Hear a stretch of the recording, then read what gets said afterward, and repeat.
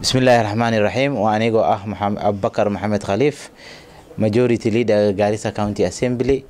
Oo xaqa iyo sharciyan ahaan nafaaskaas leh. Maanta waxaa arkeysinaya baarlamaanka ka dhacay. Arrin aada iyo aada u foolxun falkaasne waxaa geyste waxaana ka dambeeyey inuu dhaco oo meeshii assemblyga aheyd oo ahayd in lagu doodo shuruuc ummadda ay ku dhaqmaan laga soo saaro. Waxaa ka dhigay suuq ama meel ciyaal ay ku ciyaaraan speakerka eedaas speakerka asagaa leh. Waayo maxkamad order ayaa u keentay falkii uu bixiyey taariikh shan bishan inuu gadaal uga noqdo. Tiiyuu gees u dhigay gees udhigistii uu ka dhigay baa dareenkii m c s ka meesha joogeen kicisay. Waxaa arakeyseen foolxumada ahaabaa ka dhacay. Hawshaasna waa howl asaga mas'uuliyadeeda adduun iyo aqraba uu leeyahay annaga haddaan nahay azimiyo leadershipkeena waa sin lii sheegay anigaa hogaamina anigoo leader of majority ah waxaa jooga garabkeyga midig taagan mushimiwa cabdiraxmaan buur oo ah deputy majority leader. Waxaa geeskeyga gadaal taagan mushimiwa cabdi ibraahim dacar oo ah majority whip. Waxaa kaloo geeskeyga taagan hajir oo ah chairmanka azimiyo garissa county assembly waxaa kaloo dhankeyga taagan cumar cabdi xasan. Inteenaba sharci baan ku taagannahay sharcigaana soo celiyey. Sharci dara iyo dulan baan lagu bixiyay annagoo shaqo dowladii countiga garissa iyo garissa county assembly u hayno. Saa a ogtihiinne xafiiskeenana waan joognaa. Waxaan u baaqayaa hadalkii koleyto ma dhihi kari ruling. Rulingka maxkamad baa bixise. Nin walbaba xor iyo hadal buu ku hadli karaa. Hadalkii speakerga maanta uu ku hadle waxba ha ka soo qaadina ummadda gaarisa county iyo khaasatan galbeed ward. Waxaa ogaatiin weli aninaan ahay majority leader xafiiskayga inaan joogo oona joogi doono ilaa si sharciyan ama aniga aan iskaaga sharciyan aan ku baxo ama memberski intay doorasho xor iyo xalaal ee qabtaan ee dhahaan bal adiga waa ku daashay iska naso iyo in aniga ahaan aan iska daayo oo aan arko shaqadan inay ii qalmin sidaa un baan ooga bixi karaa ama inay maxkamad iga bixiso sidaas un baan ooga bixi karaa baarlamaanka laakiin hadal ka soo yeere cabdi iidle aniga ogama baxayay assemblyga xafiiskayga majority leaderga ah. Weliba waan sii wadaya shaqadayda administratively iyo pushing government agenda.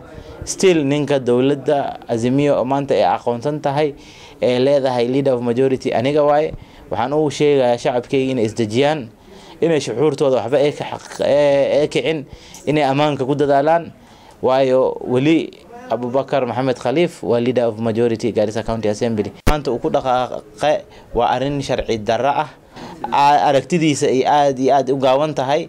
Waa nin aada iyo aada u aqli gaawanaan dhihi karaa waxa hadalka iyo kelmadaas ay ka soo baxdo. Saa ogtihiin constitutionka kenya aada iyo aada ayuu u baaxsan yahay xisbi iyo ruux walbaba meeshuu raba ku beeri karaa. Rulingka iyo presidentka uu soo qaatay uu dhahayo u d m waxay tahay kenya kwanza. Arrintaa waa arrin uu ku fududaaday waxay ahayd inuu qoro political party registrar oo warqad uu ka helo. Annaga ahaan markaan sameyn baaritaan markii horeba iyo markanbo waxaan ognahay inay u d m ee tahay qeyb ka mid ah azimiyo oo annaga azimiyo naga mid tahay. Haddii ayaga rabaan rabitaankooda unbay ku bixi karaan ay ku beeri karaan kenya. Kwanza arrimahaas iyo falkaas maanta uu sameeyey waa fal ruux aqli u saaxiib ah oo ka suurtoobeynin. Sharciga waxaa la dhahaa waa labada dhinac. Maanta adiga laga yaabaa inaad si qaldan u isticmaasho berina adigu kugu soo fooraraya arrintan maanta xaqdarada iyo dulankan uu sameynayo annaga bis nagama sameynin wuxuu ka sameeyey ilaahay hortiisa ummadda gaaris gaarisa county assembly iyo annaga dadkan matalno intaas ayuu dembi ka sameeyey. Dembigaasna kolley wuxuu isku dhaqi karaa ama iskaaga tirtiri karaa inuu waddada cadaaladda oo saxda ah uu ka dhume uu indhaha iska tirayo inuu ku soo noqdo.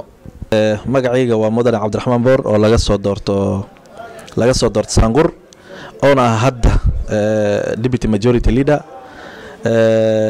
sidaad ogsoon tihiin waxyaalo qalalaasa maanta ka jiray assembliga ilaa iyo hadda saddex beri aan soo dhaafna ka jire waa wax speakerka naftiisa cabdi iidle uu talagalay in arrimahan ay saa u dhacaan. Horta waxaan rabaa inaan u sheego nin sharci ka weyn ma laha anigaa sharci ka weyneyn speakerka sharci ka weyneyn madaxweynaha sharci ka weyneyn nin sharci ka weyn oo wadankan jooga ma laha.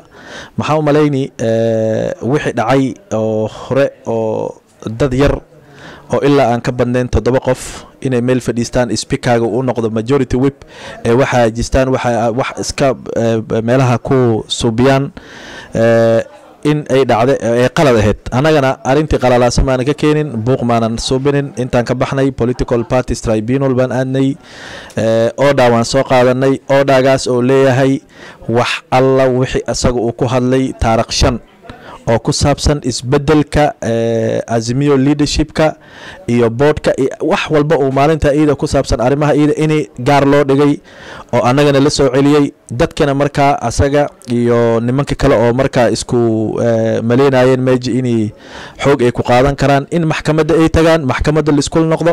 Intaana anaga xafiiska aan joogno. Maxaa u malaynay koota oo dha wax yar ma aha. Maanta hadday maxkamad bixiso in guri ama meel wax ku saabsan ay oodha ka bixiso waa in la raaco. Marka annaga kama baryeeno speakerka. Cabdi iidle kama baryeeno inaan xafiiskaa joogno. Annaga xafiiska waan joognaa. Mid asaga aan ka sugaynana ma aho inuu asaga ruulin ka bixi. Meejan wuxuu ruulinka bixinayan asaga uma taallo. Waa wax maxkamad u taallay. Maxkamadna go'aan ay ka soo gaartay oodhaa soo bixisay marka annaga xafiiskeenna waan tegeynaa ninkan walaalkay waa majority leader aniga deputy majority leader waa nahay ninkan walaalkay maytan waa board member ninkan walaalkay gadaal fadhi asagana waa majority whip maadaama maxkamad na soo celisay asagana awood uma laha. Waana ku celinaya asaga awood uma laha in maxkamad go'aan ay soo gaartay asaga u overtangareeyo oo go'aan uu ka gaaro awood uma laha. Marka ninkii rabo inuu go'aanka maxkamadda ka soo baxay in dhinac loo dhigo. Waa inuu maxkamadda ku noqdo ama maxkamad ka sare midda iyada uu aado oo oodha uu soo qaato oo arintaa iyada oodharka ee soo bixisay dhinac u dhigayso. Marka aniga maxaan ku baaqi qalalaasa anaga uma joodo laakiin anaga maadaama aan nahay madax m c yaal loogu talagalay inay sharci dejiyaan annaga sharci darri ma ka ogolaaneyno speakerka inuu suubi. Waxyaalaha hadda uu suubinayo kolley asagay dhibi doontaa xumaanna igama aha dhinac xumaan ma aha laakiin sharci darrada maanta uu suubinayo asaga laga yaaba beri haddana inuu uu oodha intuu meel ka qaato. Sharciga asaga haddana uu annaga rabo inaan marno. Marka maxaan ka codsani una sheegi speakerka.